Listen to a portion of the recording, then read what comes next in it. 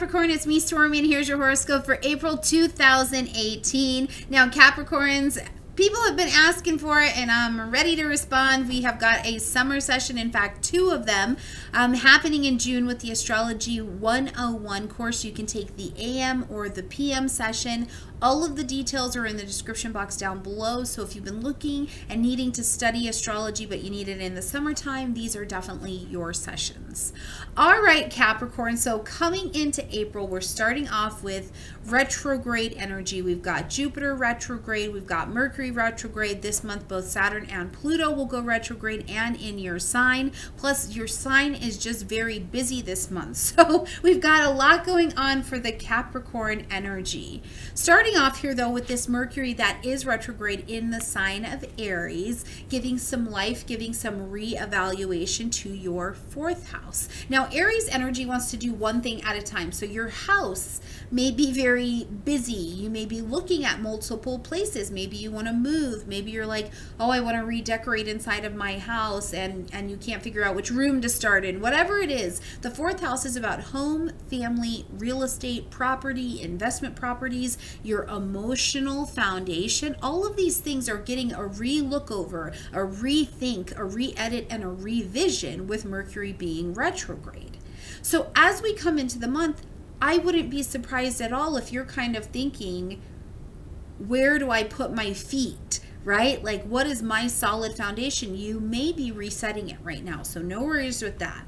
Now, on the second of the month, we've got Mars in a conjunction with um, Saturn, your ruling planet, right here in your sign. It's in your first house. Now, sometimes these two energies can can be a little bit rough together, but this particular time, because they are in your sign, and your sign is about achievement, let's take these resources, this energy, and do something with it. They're actually on very good behavior with each other, um, very, very useful. You're able to initiate some things if you want to put something out there. If you want to get out there, maybe even you're wanting to dress or present yourself differently this is a wonderful energy for that. Now, between the 4th and the 5th, we're going to see Mercury, who is still retrograde at this point, coming into a square with this Mars Saturn conjunction that's happening. Now, because Mars is over here in the fourth house and it's squaring, the square says, I want immediate response and action. So it will evoke movement, determination, action, motion from you. You could be seeing yourself in a little bit of anger, depression, um, pressure in your fourth house zone, something about how you're showing up or something about how you're participating in this particular home family property area may need to come to the next level because that's what this energy is about. Regardless of how it feels, what it's trying to do is getting you to grow up come to the next level. And it's neat because ultimately what it's all about is the determination, getting you to move towards whatever the goal is, whatever it is you're trying to get done. It stimulates sexuality, it stimulates creativity, it stimulates your desire to succeed. So it's a very good energy, even if it can feel a little heavy.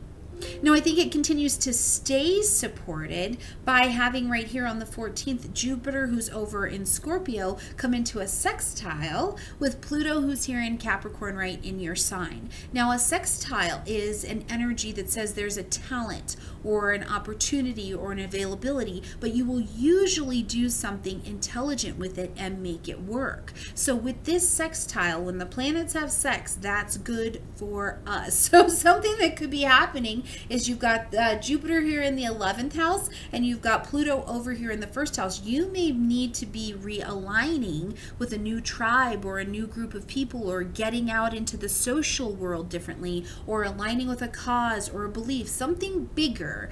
You're ready to move your name, move your energy behind maybe one of these causes or the new long range goal for your life. Things are certainly, certainly changing.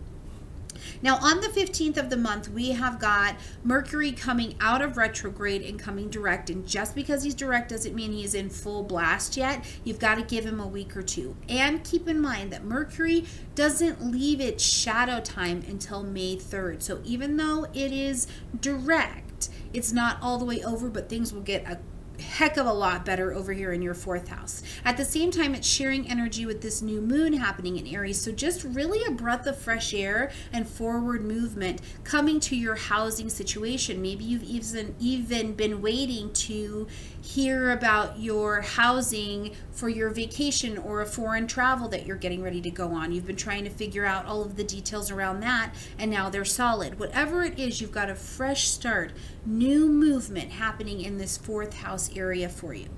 On the 17th is when Saturn goes retrograde.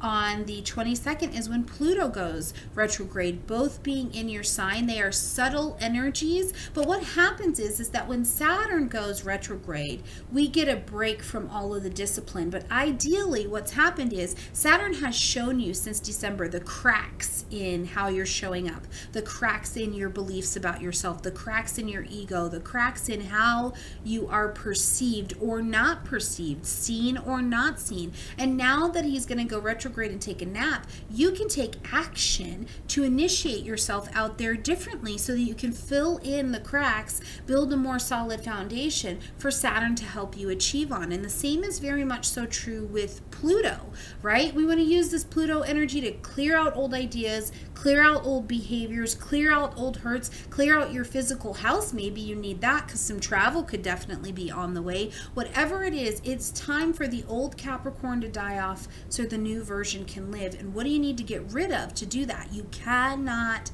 fly high if you're held down by baggage. So let's get some things let go. On the 19th, the Sun joins Venus over in Taurus, lighting up your fifth house. We could certainly have some romance here. Um, this is exciting, even if it's just, um, you know, romantic conversation. I think, too, even if it's just a text message or something, there could be some romance definitely on the table. This energy is wonderful for children. It's good for investments as well. So if you're looking at your portfolio or any of your securities, um, this is a wonderful energy on this date or around this date. That will depend on your personal chart to see if you can make some movement here. On the 24th of the month, Venus takes a move and goes on into Gemini, into your sixth house. This is great if you do anything freelance, if you are having problems with coworkers, whatever the situation is, this helps to put a little bit of honey on there, a little bit of salve to make things a lot more diplomatic and workable. This can also usher in a workplace romance. So if that's not something you're interested in, just be mindful it could be coming on the way.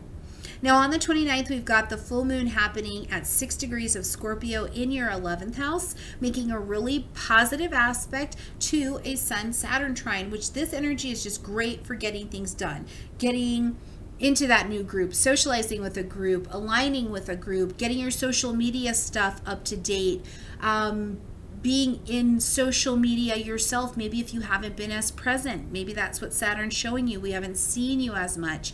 This will help you get out there in a different kind of way that is ultimately very, very beneficial to moving forward. You may just need to acknowledge the adjustment that the full moon is trying to bring to you at this time. So, I'm looking forward to seeing what happens for you, Capricorn. Please keep me posted in the comment section down below. Like this video, comment, share, subscribe, and I will see you next month. Bye, Cap.